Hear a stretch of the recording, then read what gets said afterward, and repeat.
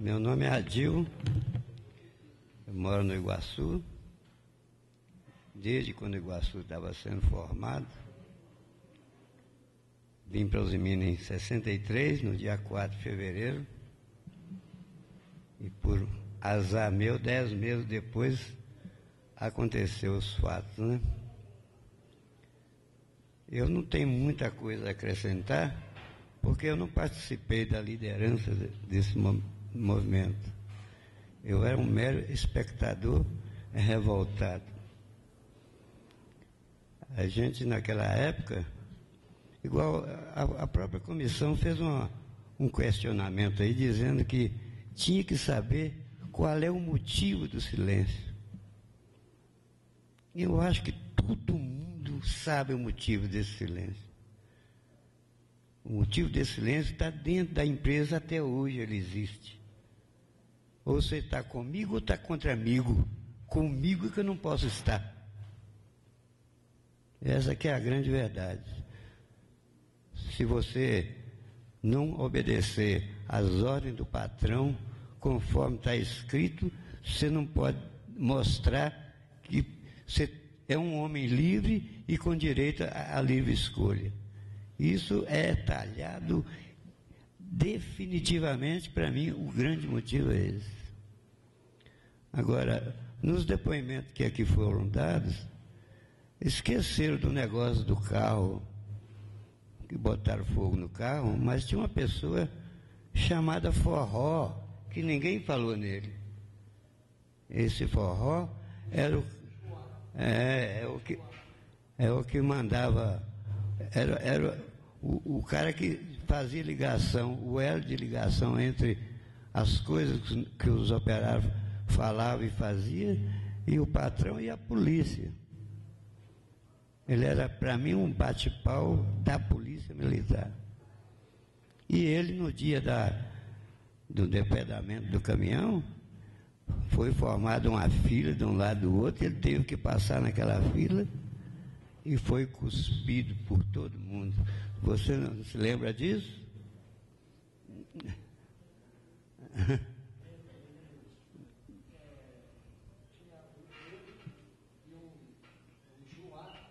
Ah, eu forró.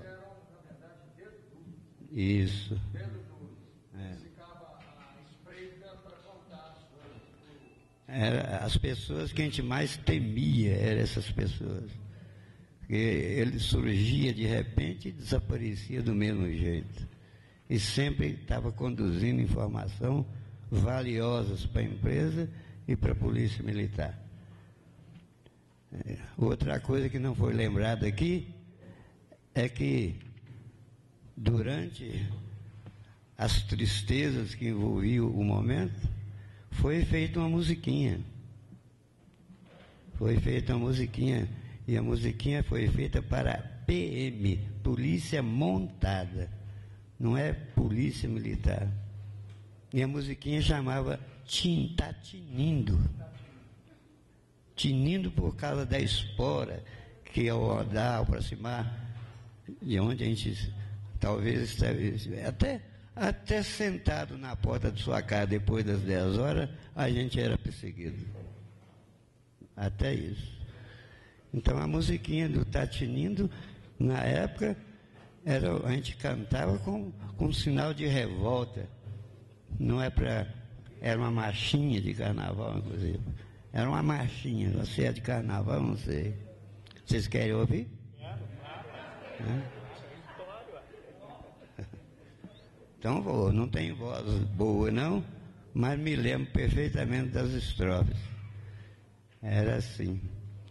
Tá, tá, tá tinindo a PM da Uzi Mina. Tá, tá, tá tinindo a PM nas esquinas.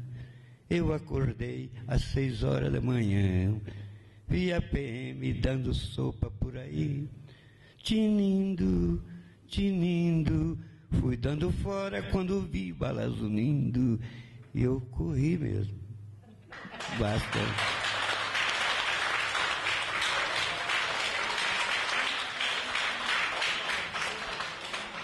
O que eu queria acrescentar era só isso. Agora, outras coisas que sucederam após esse massacre foi a formação da chapa sindical, foi a maneira pela qual a Alzemina levava o, o, os eleitores para votar. Né? E quando fizeram, por exemplo, a primeira eleição sindical, a primeira oposição, entre aspas, que de oposição não tinha nada, foi criada uma chapa azul e uma chapa branca. E Jazuna ia na sua mesa com a recomendação: vota na chapa branca. E você tinha que votar na chapa branca. Porque era a chapa do pelego, era a chapa do patrão. Isso até surgir a ferramenta, eu até participei desse, de, de, dessa chapa, e depois disso muitos foram demitidos, quase todos foram demitidos, inclusive, inclusive eu. Hum? inclusive eu, é, é a repressão que era feita antes, durante e hoje. Quem duvidar disso é porque não tem a coragem de falar. Eu mesmo estou falando aqui com medo de vocês. Eu tenho medo de vocês, que isso, para mim, é como se eu estivesse vendo uma banca julgadora e que eu estivesse sendo julgado. De tanto terror que era feito.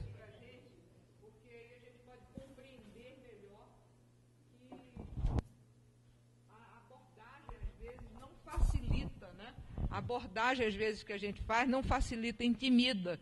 É muito bom você dizer isso para a gente, dizer com clareza, porque aí a gente tenta é, mudar a forma para poder ouvir mais as verdades que a gente precisa ouvir. É, houve um companheiro aí que eu fui chamado para prestar um depoimento no sindicato aqui. Houve um companheiro que falou bonito, falou, falou, e por fim diz ele assim: eles acertaram só na testa.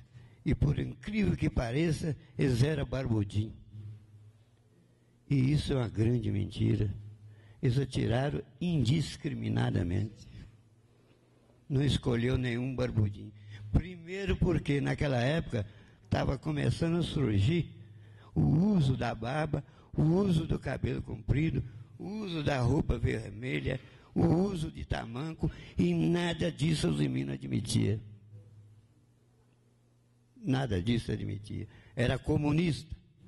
Estava na lista negra e rapidamente desapareciam com ele. A gente tinha que fingir que era bonzinho. Quando eu fui demitido, por exemplo, eles fizeram uma reunião, uma, uma banca de 15 chefes, da seção onde eu trabalhava, de outras seções, do departamento em si. E um deles ainda falou assim: você cuspiu no prato que comeu. Né? Aí eu falei: vocês são mais burros do que eu, porque tem 25 anos que eu estou aqui e agora que se descobriu que eu não presto.